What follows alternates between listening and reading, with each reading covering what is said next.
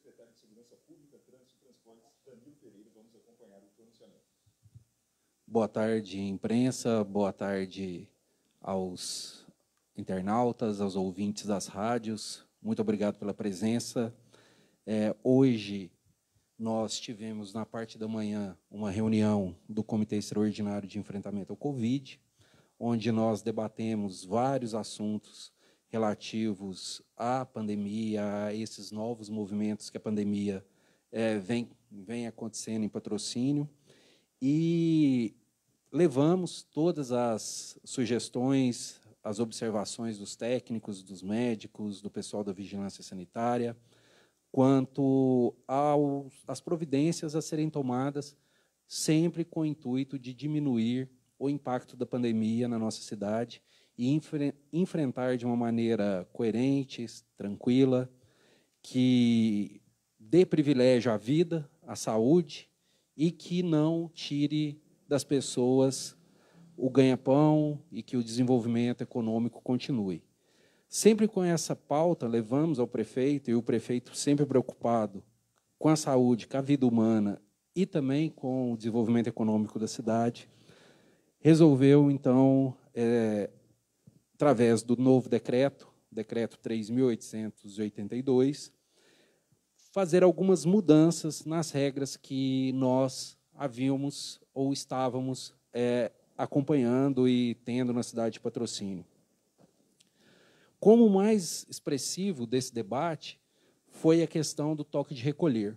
É, nós vamos retornar o toque de recolher, que foi uma uma medida adotada no começo do ano e de muitos bons frutos para a população, para a saúde. E esse toque de recolher ele vai retornar dessa vez a partir das 23 horas até as 5 da manhã do dia seguinte.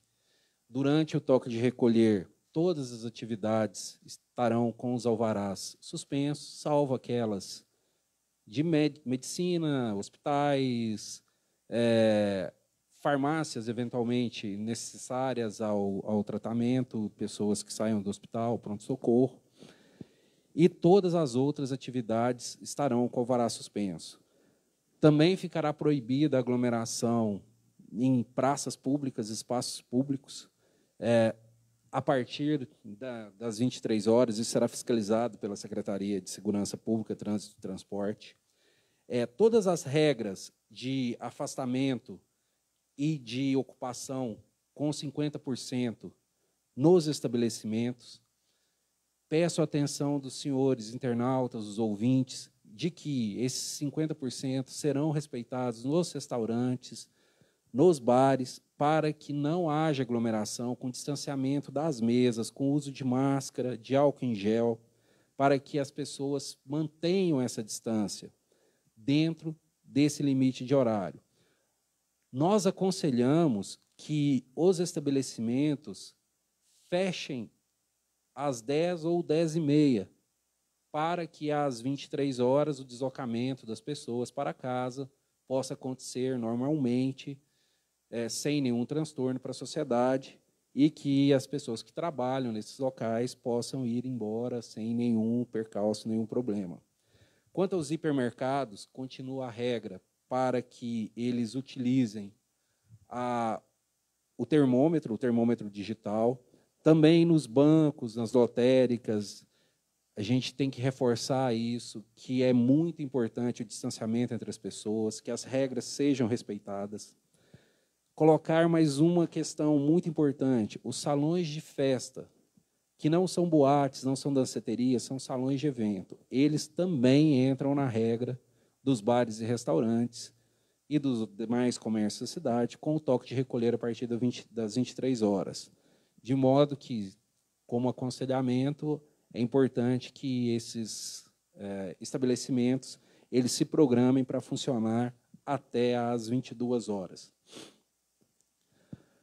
Quanto à questão de clubes sociais, nós vamos manter os clubes sociais abertos, entretanto, com algumas restrições, dentre elas que não haja dentro desses clubes sociais serestas, é, música ao vivo, música ao vivo também nos bares e restaurantes ficando proibido, e que não haja competições esportivas, porque essas competições esportivas estão causando aglomeração, essas aglomerações podem vir a transmitir o um novo coronavírus. É, o estacionamento na zona vermelha, perto dos hospitais, continua suspenso para privilegiar aqueles doentes que precisam utilizar. A gente pede encarecidamente para que as pessoas que trabalham nos hospitais, trabalham no pronto-socorro, não utilizem dessas vagas, que deixem essas vagas exclusivamente para as pessoas que estão precisando, que estão indo ao hospital, que necessitam parar o carro para é, ter algum tratamento de saúde. Esse decreto ele entra em vigor a partir de amanhã. Continua a recomendação para o uso de máscaras, que a gente pede para a população que respeite essa, essa medida e que continue adotando todas as cautelas para que nós evitemos a maior massificação do vírus num ambiente de frio, estamos entrando, adentrando ao inverno, e depois até o secretário pode falar disso, estamos adentrando o inverno e com isso síndromes gripais podem acontecer com mais frequência. Estamos à disposição, o governo municipal, o prefeito municipal, sempre preocupado, o prefeito Deiró, com a saúde da população e com o desenvolvimento da economia, vem fazendo essa administração é, dentro da pandemia, com todas as cautelas para que a gente possa sempre beneficiar a saúde, mas também sem deixar de lado a pujança econômica da cidade. Então, essa é a mensagem da administração, do prefeito, é isso que o prefeito é, pensa para o bem da nossa população e sempre aqui procurando o bem e o melhor para todos.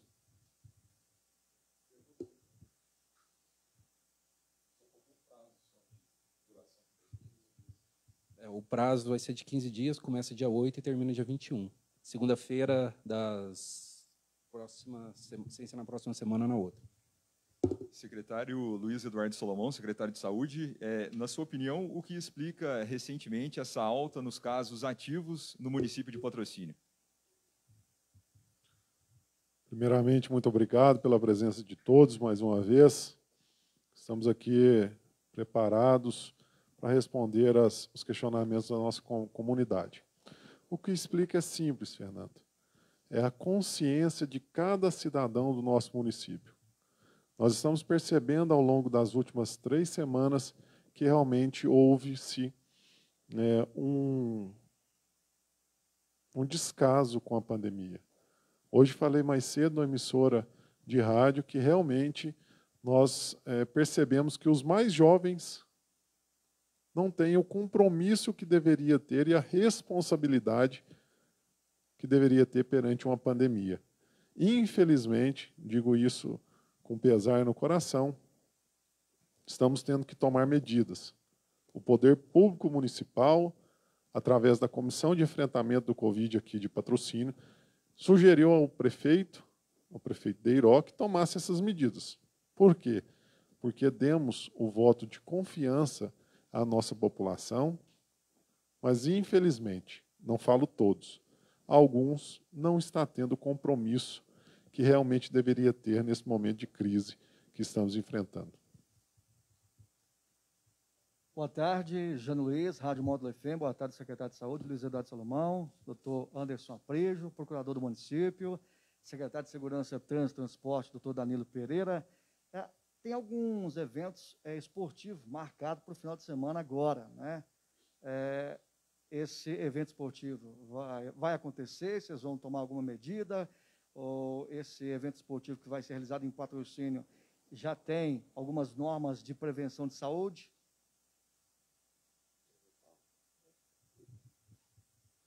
Boa tarde, Janinho.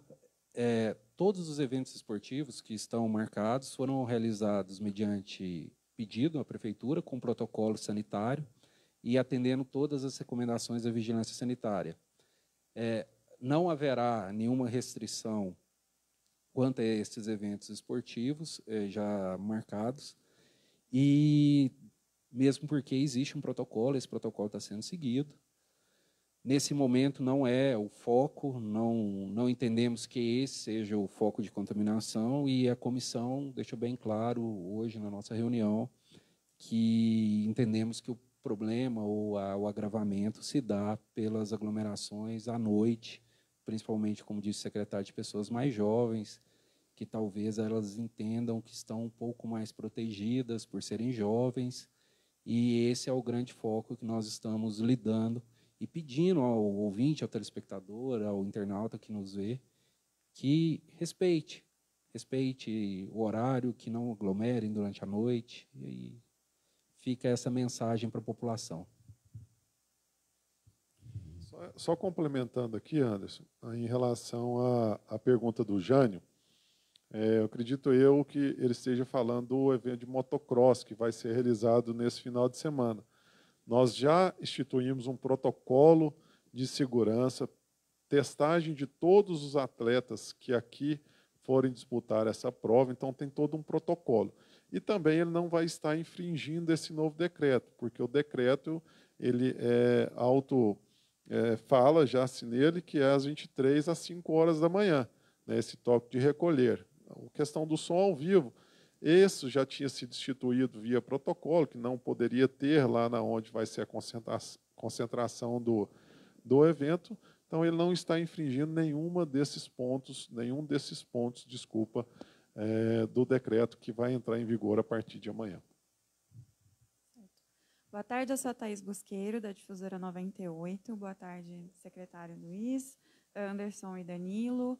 É, em relação à vacinação, já que a gente está falando de faixa etária, é, tem uma previsão de quando vão começar a chegar nos mais jovens as doses, como que está na cidade? Obrigado, Thaís. Seja bem-vindo. Acredito que é a primeira de muitas é, coletivas que você participa. Muito obrigado. Porque as prioridades nós temos que fazer em conjunto com, com o avançar das idades. Então, estamos realizando aqui em patrocínio esta, esse avanço nas idades para a gente alcançar o quanto antes possível é, as faixas etárias do Estado de Minas Gerais. Obrigada. Bom, muito obrigado a todos, obrigado pela presença. Eu quero dizer que. Ah, tem? Ah. Pergunta oh, para o.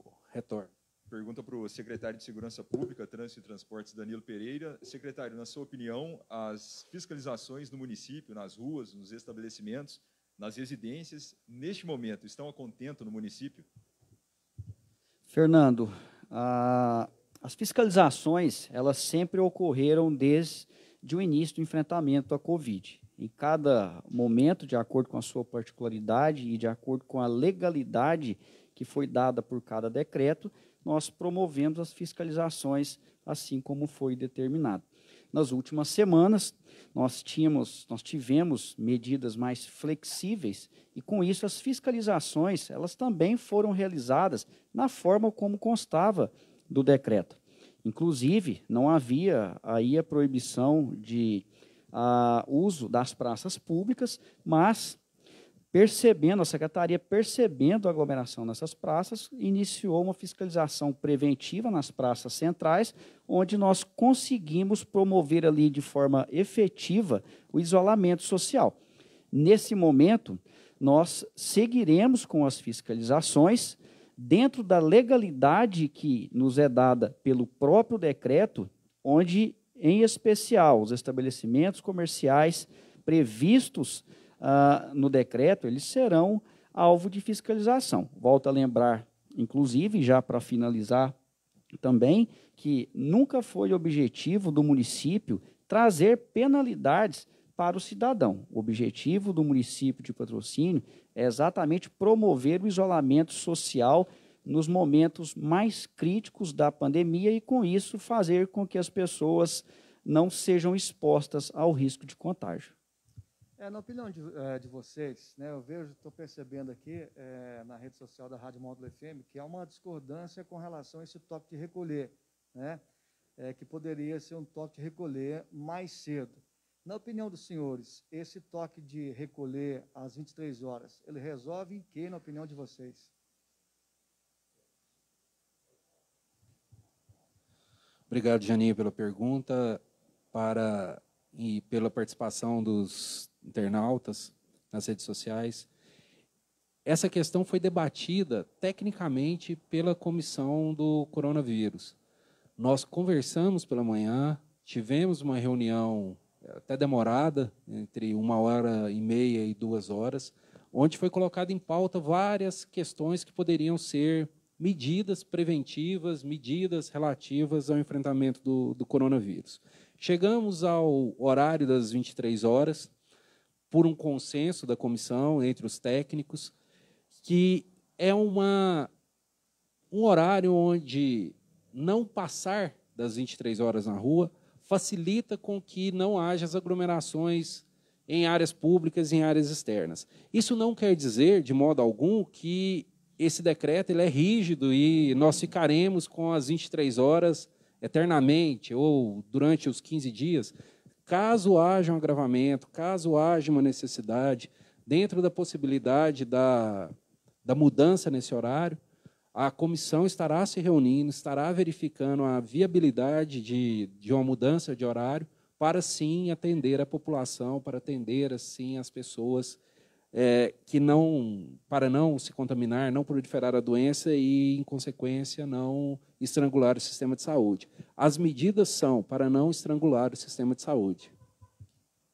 Luiz Eduardo, é, o município tem encontrado dificuldades para obter vacinas contra a Covid-19?